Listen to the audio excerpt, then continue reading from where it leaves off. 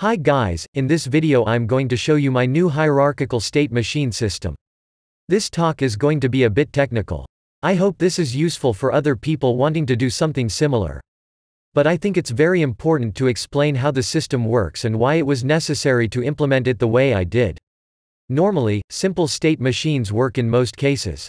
However when the system grows the complexity increases, that is why it is necessary to implement a hierarchical system that helps us alleviate this complexity by reducing the number of transitions between states. I will give an example of how a hierarchical system benefits this project. Let's imagine that this system controls Mario. We have a series of states connected to each other by transitions. Which are conditions or events that triggers a change to a different state. In this example we can go from the idle state to the running state and so on. But what would happen if each of these states needed to transition to a state in which Mario receives damage? If we count that Mario has more than 100 moves, and that many of them need to make that transition. You can clearly see how this becomes hard to manage and it would complicate things from a programmer's perspective. Doing the operation of setting transitions from every state that needs it is very tedious.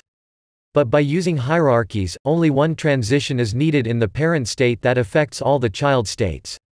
The transitions are evaluated from parent to child.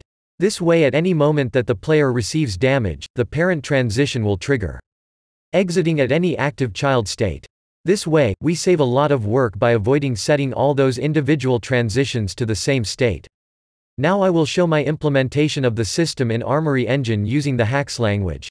The system has three main classes. The FSM class is responsible of controlling the flow of execution of the states. This portion of code evaluates all the transitions of the active state, including all its parent transitions. If one of those transitions validates as true, a set state function is called to change the current state to a state previously defined by the transition. The getParents function recursively looks for all the parents of the recently active state and stores them in a list. There are some functions responsible for adding parent and child states as well as binding transitions to specific states. The state class is where the game logic is executed. Each instance of this class contains one list with all the transitions assigned to that instance. And another list with the names of the destination states of those corresponding transitions. The transition class is needed to handle the events or conditions that makes possible the change of one state to another state.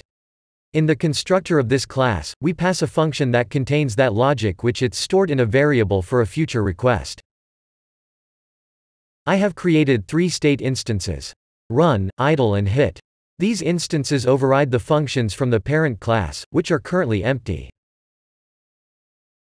Now let's set up the state machine in the main file. First, I'm initializing the FSM, and passing as an argument an instance of Mario's trait, so the system can have access to attributes and functions. Next, I'm adding the parent and child states, by passing the name of those class instances, which internally are created dynamically by the system. Here I set the initial state.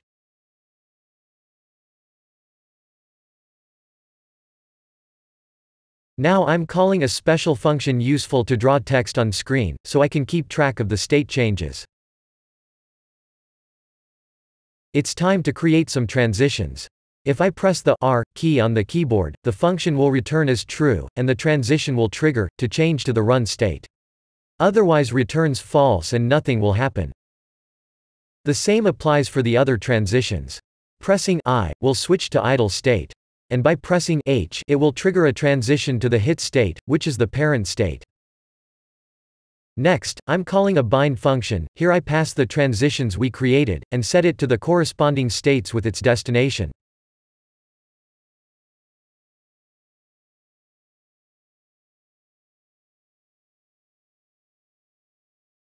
Finally, let's run the FSM every frame. It is very important to have the state instances added to the traits list, so the compiler knows about them. Let's see if the project compiles without crashing.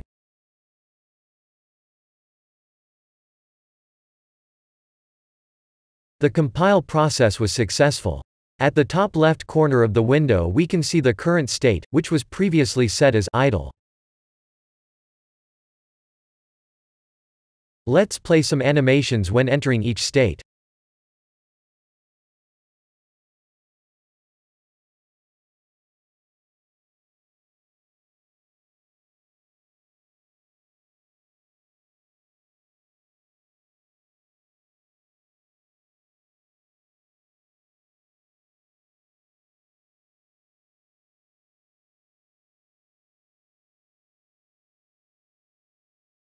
Now we can see that every time a state change happens, the requested animation plays. And we can go to the hit state from both idle and run. But there is no way to get out from hit for now. Let's add that transition. The nice part is that we can recycle transitions. In this case I will set it to use the transition to idle, so it goes from hit to the idle state.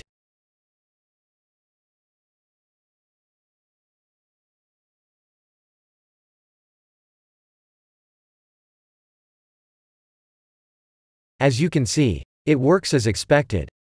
Well, that's all I wanted to share with all of you.